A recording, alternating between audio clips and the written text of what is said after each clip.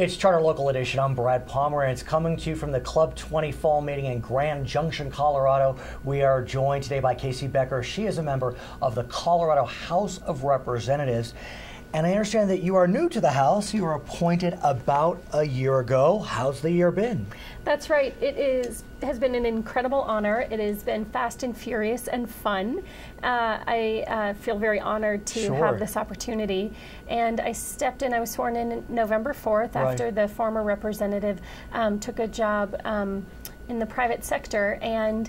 Uh, How did it happen? I mean, give us, I like the kind of the stories. The phone rang. I mean, what exactly happened? my house was flooding at the time, actually. Was course. September 12th. Of course. Um, when I got um, all these phone calls and emails at one time and texts, and I was actually in the basement shop vacuuming, um, trying to clean up my basement, and they, a bunch of folks called and said, KC. Um, State Representative Claire Levy has resigned, and um, are, are you going to run? Are you going to put Right. your name in the hat? What are you going to do? And I said, right now I'm going to Clean my clean my basement, right.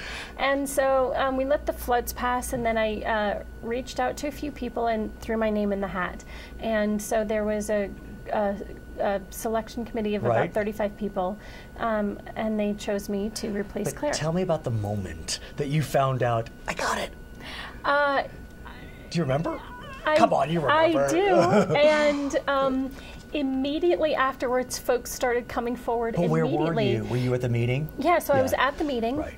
I had done a speech. The other candidates had as well. How they many took a there? vote. There were, um, by that time, there were three. There Got had it. been 4 Uh-huh. and uh, they took a vote, and I. Um, uh, I immediately started getting, Oh, you know, yeah. ideas for legislation, Right, and so right. the job starts immediately. So, of course, in the House of Representatives, the elections are every two years. That's so right. you immediately had to start running for election, re-election, and so talk to us about that process. I mean, it's very different running for office than anything else you could ever imagine. Yeah, you know, I, I really didn't think of it as running for office. I just started thinking of it as immediately serving um, my district Nice, nice. and and my community. And um, you know, the the legislative session is really really busy, Right. and I have a very Yeah, you had jump large right district. Right. So I didn't get out to the district as much during the session as I could. And since then, that's really what I've been doing. And so let's talk about the district. What a great district in north central Colorado. Uh, one could say politically diverse. You represent downtown Boulder. You represent the border of Wyoming. That's right. And so talk to us about you know the beauty that is your district. Um, I have a geographically and politically diverse district, um, but it's fantastic and it has some of Colorado's best kept secrets. Of course. Um, so, yes, it goes from the Wyoming border down to Mount Evans, Mm-hmm. and it goes from the, t- the western town of Kremling to downtown Boulder. And in that, we have high tech entrepreneurs. Of course. Um, we've got uh, farmers, ranchers, um, a lot of uh, students, college students. Right. You represent Um, the university actually. Um, the, The a lot of the students actually Oh, live in my district, and, they, yeah. and um, I just have a little teeny bit of the, of the campus. So as you've been walking, talking, uh, campaigning, whatever you want to call it, what are people saying to you? What's on top of mind? Yeah, today? in my district, transportation is a huge issue. I 70 obviously is a major state corridor and it goes right through the district, as does US 36, which is um, a road that's currently being um, improved. And so, uh, you know, Can we talk about I-70? transportation means commerce Yeah. yeah. it means it's the local road really for Right. part of my community and so um, solving the gridlock yeah, is an issue And let's talk about that because, you know, I-70 is so critical to the entire state of Colorado. I mean, so many towns rely on traffic coming off of I-70 from Denver or otherwise. And so there's a lot of discussion about how to minimize that gridlock. You know, in the background, federal dollars really are not flowing. The transportation tax is not increased. State taxes are not changing. So, what creative solutions have has the legislature come up with on this front? Uh, one thing that happened recently is the expansion of the Veteran Memorial Tunnels, formerly known as the Twin Tunnels. Right. And that's really going to help congestion. And uh, the Colorado Department of Transportation, I think, has done a great job of coming up in the short term with some solutions, including the peak period shoulder lanes. Um, they've been funding a lot of studies, which is going to help us figure out what are the long term solutions. And let's talk about peak period, congestion pricing, because it's a solution that has really taken off, not only in Colorado, but around the world.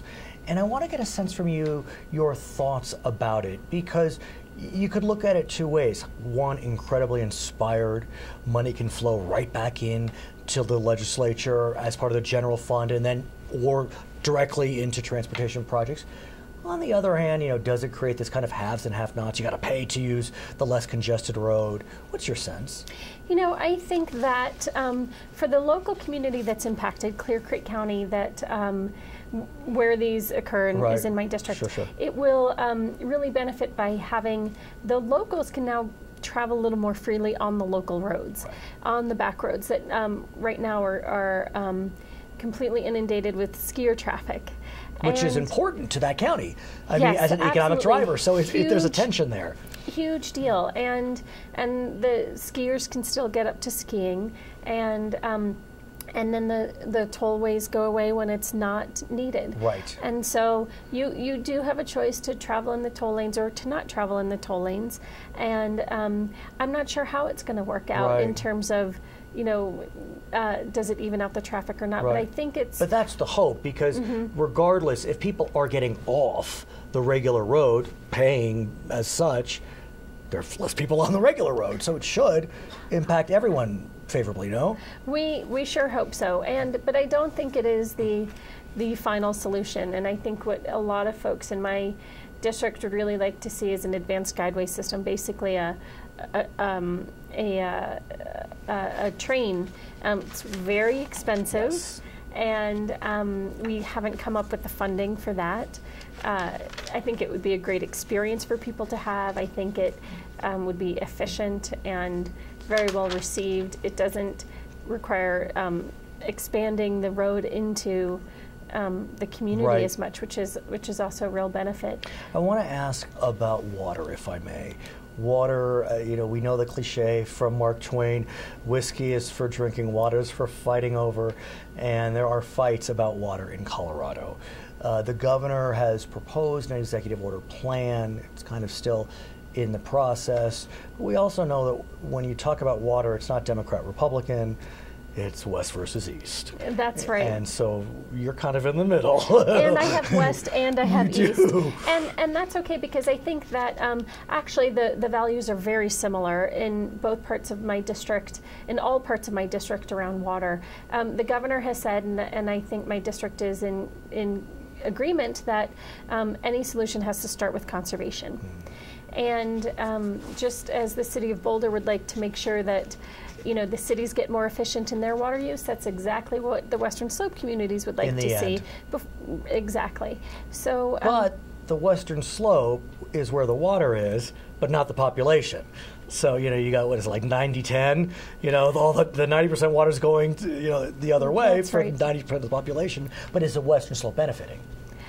does the Western Slope benefit from? I mean, you know, that's the frustration because they feel Oh. as if they're shipping a lot of water to the east, and are they getting the concomitant benefit back? That's right. It's it's important for our, our Western Slope communities to keep water for their own um, growth and development, and uh, I really hope that that value is reflected in the state water plan. So, do you expect that there will be a state water plan in the end?